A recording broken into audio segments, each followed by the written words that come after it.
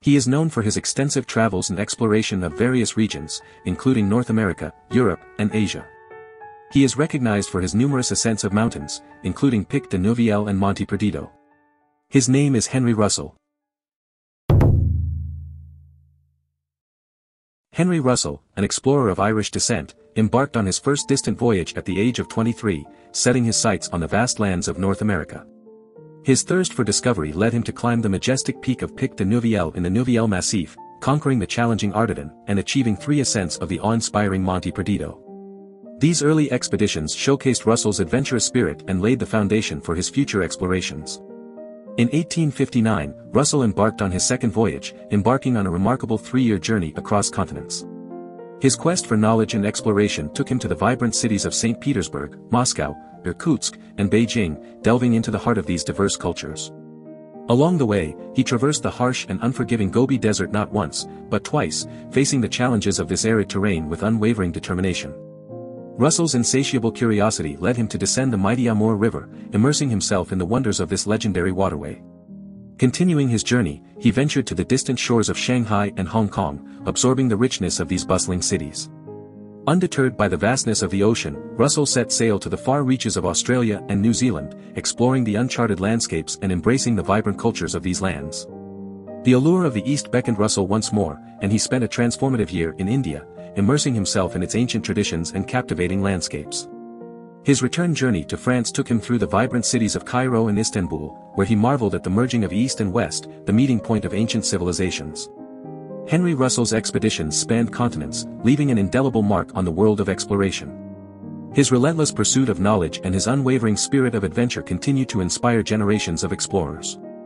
From the rugged peaks of the Néouvielle Massif to the vast deserts of the Gobi, Russell's journeys have shaped our understanding of the world and ignited the flames of curiosity in all who dare to dream. Henry Russell, a passionate explorer, dedicated himself to the exploration of the Pyrenees. With his personal fortune and investments, he embarked on numerous first ascents, often accompanied by his trusted guides.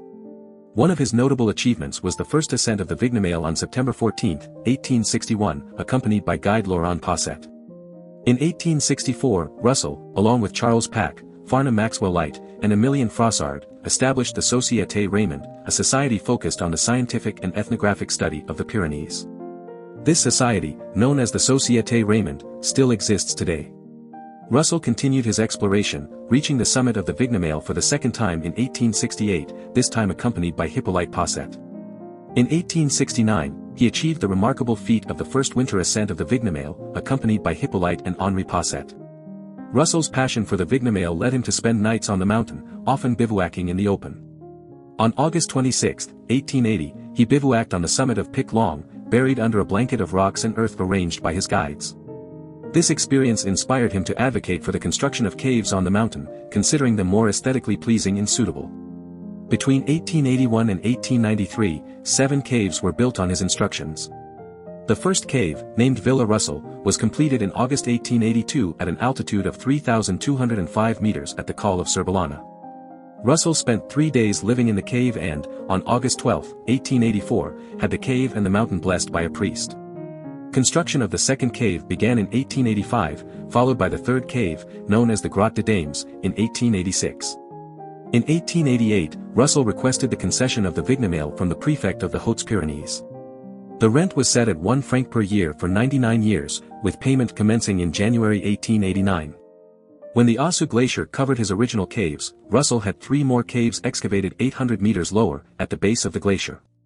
These caves, called the Bellevue Caves, were the venue for sumptuous banquets where he entertained princes and notable figures on Persian carpets, styling himself as the Comte de Mons. However, these caves lacked the grandeur he desired.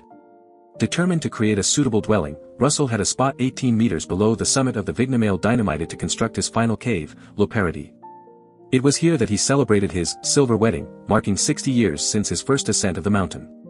Russell's 33rd and final ascent of the Vignemale took place on August 8, 1904.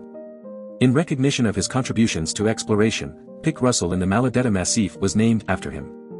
After his death in Biarritz in 1909, Russell was laid to rest at the cemetery in Pau. If you want to discover more adventurers on YouTube, make sure to hit that subscribe button for my channel, and don't forget to leave a comment in the section below. telling us which adventurers you'd like us to feature next.